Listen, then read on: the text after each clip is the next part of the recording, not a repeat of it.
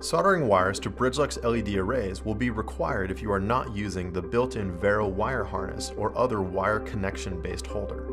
There are slight nuances depending on the array you are using, but the process remains the same across all Bridgelux arrays.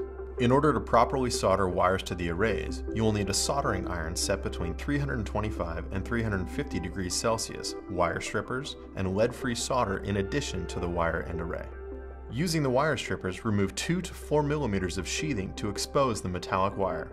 Next, we pre-tin the wire. Melt a small amount of solder onto the tip of the iron and touch it to the exposed end of the wire until the solder wets and flows onto the wire. We then pre-tin the solder pads on the array with the same process. Continue to add solder to the pad until a small dome is formed. Once more, pre-tin the iron.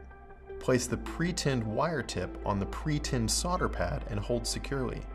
Place the hot tip of the soldering iron on top of the tinned wire end. If needed, bring the solder wire to the area just below the solder tip. Only a small amount of solder is necessary to form a joint. After the solder wets and while holding the wire in place, quickly remove the soldering iron. The maximum time the soldering iron should contact the LED array is 10 seconds.